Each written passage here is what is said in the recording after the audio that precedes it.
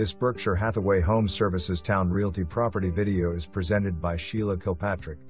Nicely appointed two bedroom, two bath condo in a gated community with bayfront pool. Open floor plan, updated kitchen. New range, new microwave. HVAC replaced in last 5 years.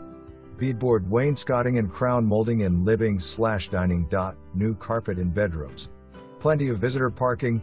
One reserved spot. Condo fee includes water, sewage, pool, trash, ground maintenance.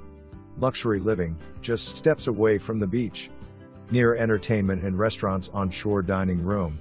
For more information, review the details below.